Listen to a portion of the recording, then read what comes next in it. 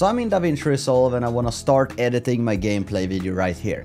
Uh, this is recorded like this, so I have the gameplay on the left and the cam on the right. So I can just press one button over here and it will do every preparation that I have set up for me. So it puts the green screen there, it puts a background in there, it colors the whole thing and renames the whole thing and all these tracks are now renamed for what I want them to be and all these tracks over here are also named what I want them to be. And you can see I'm having a green screen with a color grade and I'm having a background that's animated also with the clouds and stuff. And if I just deactivate this clip over here, I get the gameplay and my cam green screened out. Just perfect to start editing. And all of this has been done with a workflow integration called Davinki Toolbox. So it looks like this. And here is the quick actions module that I used for this. And I just ran these actions that are right here. But that's just one module of this Davinki toolbox. This toolbox is made by my friend Ville and it integrates with DaVinci Resolve flawlessly. So in this video I'm gonna talk about what it can do right now and how you can install it. And also sadly you need a studio version of DaVinci Resolve to actually use workflow integrations right here. Otherwise this won't exist here. So this here probably looks very overwhelming, so let's go to the bare bones which you will start with. So this is what you will see when you start up the program for the first time. Absolutely nothing, except these things over here. So you can add a module right here and there's a lot of them and also I've made some myself. You can actually make these yourself if you're a programmer and there's a dev version of this program on GitHub. But I'm gonna quickly show you what all the ones that you get with the program do. And then I will make individual videos on all the individual modules because there's just so much to say about every one of them. So let's start with the most basic modules. So here we have around eight modules and you can probably guess what most of these do and if you click on the edit tab here you can just edit these and put them wherever you want. You can also put these in different places if you want. So let's start with the marker tool over here. This is a very small module uh, but it does a lot of things or at least it helps a lot of things. So this marker tool here sets the in and out point. And via the API you can't actually set the in and out point and you can't set what the in and out points are so we can't use I and O. We need to actually measure that in some other way. And that's where the marker tool comes in. So you can see the time code over here. And this is just a module that only shows the time code. But it shows the time code that's over here. And if you and if you start your clip right here, then you can't really see how far you've gone into it if you don't put a O and an I. And then you can see it up here, which is really small. So I can see that I'm 3 seconds in. But that's a lot of work to just see one thing. I want to see that all the time. So I can just click start in this marker tool or use shift alt 1 and put a marker right there. And if I have this in marker here, then this timecode window up here will show me from that point and onward. So I can see that I'm 3 seconds in right here without even doing anything else. And that's kind of the theme here. These markers is used by a lot of modules.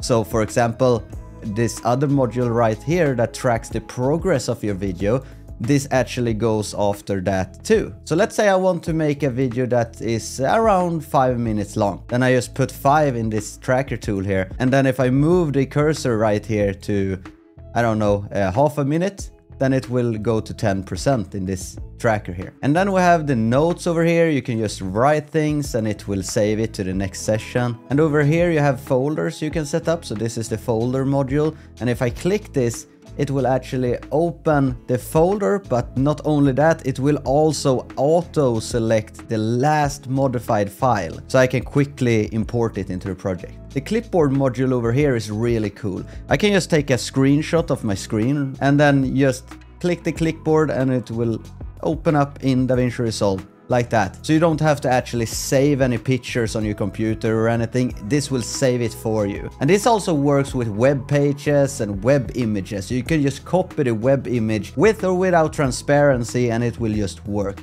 It will put it in this separate folder called clipboard. And then we have the open file at playhead module over here. If I'm over a file here, I can click this and it will open the folder in Windows where the file is. And then we have the counter module right over here. So if you want to count something in the edit that you have to keep track of, like scores or something, you can use this to keep track of the score. And then under that we have the timer that you can start or stop or reset and you can also switch it to a countdown timer and then you can set the minutes you want to count down from. This is just a handy tool to have to see how long you have edited or if you only have one specific time frame that you have to edit and you want to see that time up on the screen at all times. And the last one of the simple ones is the clamp module and this is best used in combination to a set property script that we will come to later. The thing that it does is if I have some space around the video here, I can just clamp it and then it clamps to the edge. So if I zoom in and I want to uh, look at this UI here, but I don't want black to be around this. I can clamp it to the side, so I don't have to really nudge it in there and be sure to actually put it there. I can just put, put it somewhere out here and then just clamp it to the side. And now to the more advanced stuff, which is folder lookup. So you can add a folder here and then it will look inside of that folder for the last 10 edited files. So this is the last one that I have in this folder, which should actually be the recording I'm doing right now, I'm guessing. So you don't have to open folders and stuff, you can just import the media right here. And then we have the quick properties, which I have not set up yet, but this is the one I'm talking about with zooming and stuff. So in this gameplay footage right here, we have the transform settings here, and it actually works for cropping and other stuff here too, but this is the most important one. Uh, so if I want to have a button that actually zooms in, then I can just change this to be like uh, maybe 10% more and then set properties right here and then click the append button.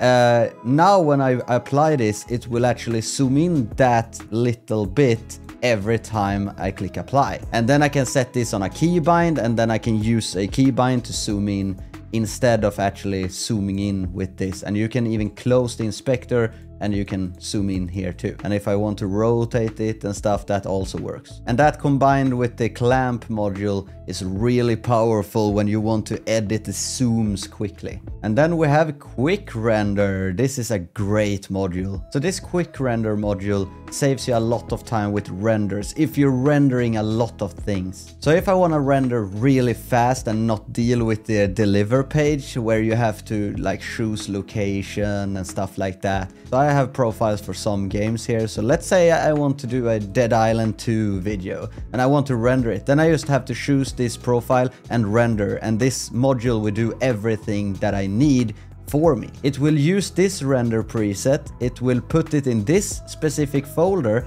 it will have this file name and it will also increment 1, 2, 3, 4 after the file name if that file name already exists. And uh, I can also have a suffix and check that mark if I want to do this as a raw video or if I want to have uh, another version of it. And I don't want it to interfere with my incrementing of the of the regular one. Then I can click this one. Here I can do overwrite if I want to. But in my case I never want to do that. I never want to overwrite something. And then the profile name what's it called in this list here? And also this can be used with the marker tool. So in this case it will render from here to here.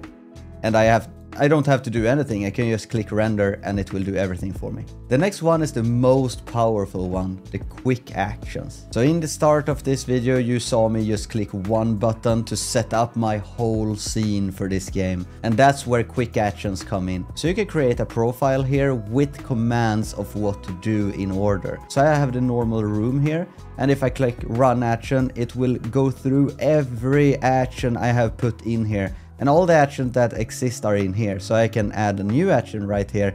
And there's add track, delete tracks, create timeline, import media from media pool, apply LUT, add bin, go to bin, add marker, new compound, insert generator, insert title, move, move play, add switch page, lock track, rename track, delay, clip position, clip zoom, clip rotation, clip crop, clip opacity, clip color, disable, clip delete, clip duplicate, clip rename, clip link, clip cut item and run profile. So you can actually run another profile from this profile. So this is really, really powerful. So probably if you have a setup time before you can start editing, this can probably minimize that setup time. And the Davinki Toolbox just released and I already use this all the time. And then we have toggle items. And the toggle items module is really specific. I specifically requested this module. So sometimes when I edit my videos, I want to go from this scene over here and I want to go to full cam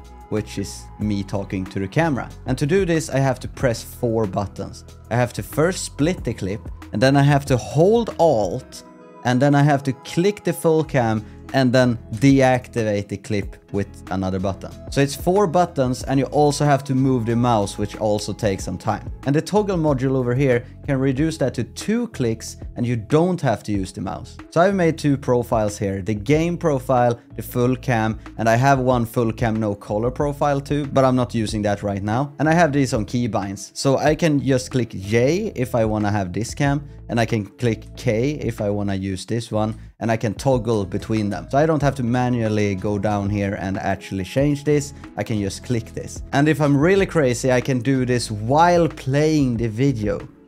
So if I click on J here, it will go to this cam, and then I can play the video, cut, go to that one, cut, go to that one, and now we can see that it's full cam right here, and then it goes back to being small again. So this is a really fast way to actually edit, and I haven't really tried it a lot, this is probably the newest module that has come out and I haven't edited any video since that came out so. And then we have YouTube chapters. And for the YouTube chapters module you may think that DaVinci Resolve has an built-in YouTube chapter thingy and it does but it's not that great. And you have to upload your video to YouTube to actually use it and it will take over the whole description I think. So we made a arguably better one. So you can use this either at the start or with the start marker. I'm using everything with the start marker. And if you use it with the start marker, then it can't put a marker there. So that's why the option over here exists. So you can put the name of the first marker here and then every other marker that is the rose color and you can actually change color too you don't have to have the rose color it's just the default one and then every other marker that is rose you can change the marker name to uh, uh, got the things boss battle the end and if we have these markers here you can just click get chapters and it will copy it to the clipboard so if I just open notepad here, I can paste it and it will put the right time code relative to the start marker or the start of the project. And you can just copy this into your description and it's done. And now the last one that I haven't made myself is import YouTube members. And this just takes your YouTube memberships members and puts them in a list on your clipboard so you can just paste it wherever you want. And you can go more advanced than that, but that begs for a different video. But that's all modules right now, but I will make a separate video for all the individual modules because there's a setting screen over here too where you can modify almost every module in detail so it fits you the right way. So let's go into the installation process. So if you follow the link in the description, you will get to this page and uh, this is the Davinki Toolbox and it starts up here so you just have to scroll down a little bit and you can go through the installation process here if you want. But basically, you need Node.js. So go into this link and download the latest one. After you've done that, you can scroll up until you see the releases over here. And then you can click on this one. And up here you can see the toolbox version. This is the latest one right now. Here's what's added and stuff. And then over here you can see the Windows installation or the Mac OS installation. And remember you need to use the Studio version of DaVinci Resolve for this to work. And also it doesn't work on Linux because right now Linux can't have these kinds of extensions. And after you have it installed, it should pop up under Workspace and then Workflow Integrations and Davinki Toolbox right here. Thanks for watching, hope you found this useful and sorry for my bad English. Bye.